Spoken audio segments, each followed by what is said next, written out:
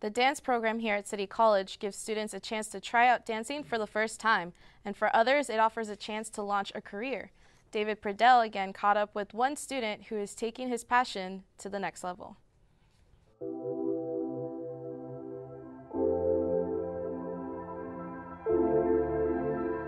Dance for me, I think it's a way to express myself. It's like my air. It's an escape for me. It's uh, something that I enjoy doing when I feel sad, when I feel happy.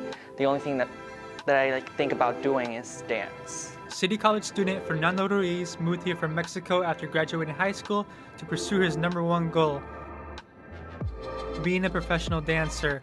However, his start on the dance floor actually began on the gym floor when he was competing in gymnastics. When I was 13, um, the studio called me. They were like, "Oh, you have like nice lines, nice legs, and everything. You should like try dance."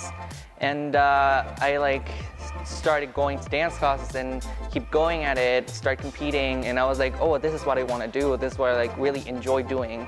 So he left gymnastics behind. However, he did mention a lot of his dance style comes from doing gymnastics as he mixes in contemporary jazz with acro dance, a fusion of emotion and fun into one. Now, as a student, he is one of the lead choreographers for the City Moves dance concert. It's fun. I, I, really like being a choreographer. It's my second time choreographing here at City, and I love working with the dancers.